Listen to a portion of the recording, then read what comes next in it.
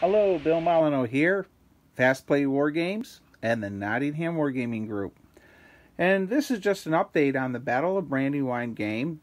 And here I'm showing you just a little bit of the endless amounts of playtesting and checking of things. Uh, but first, uh, on Saturday, April 9th, I went to uh, Scoots Barbecue in Gloucester, Virginia with my wife and my friend Troy and his wife Christy. And we celebrated the Kickstarter for the Battle of Brandywine.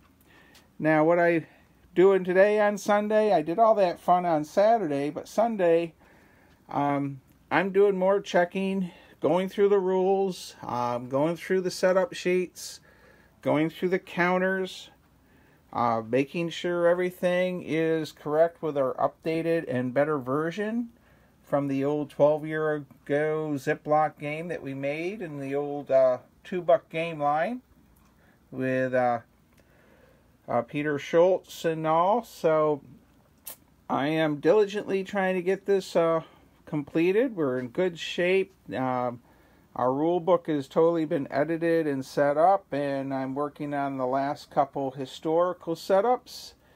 And a couple things that mentioned, you know, I get people that say they want to, to make a game or develop a game, and there's a lot of uh, print on demand uh, uh, places to get your game uh, made. Um, there's also great publishers like Worthington, Lock and Load, White Dog, High Flying Dice, um, Blue Panther. So there's a lot of different publishers that can print your game.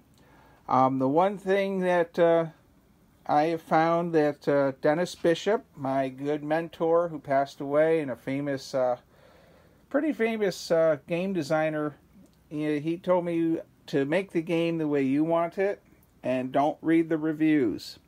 He says if he had read the reviews of his first game, he would have never continued making games.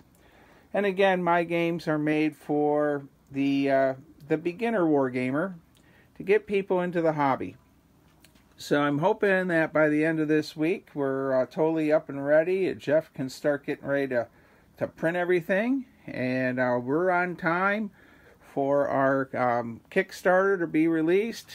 And uh, a giant thanks and uh, out to everybody that supported me and my vision of historic games to help teach history at historic sites. Thank you. Stay safe, be kind, and be courteous. And thank you again to Scoots, Gary Ward, and everyone at Scoots Barbecue in Gloucester. Thank you.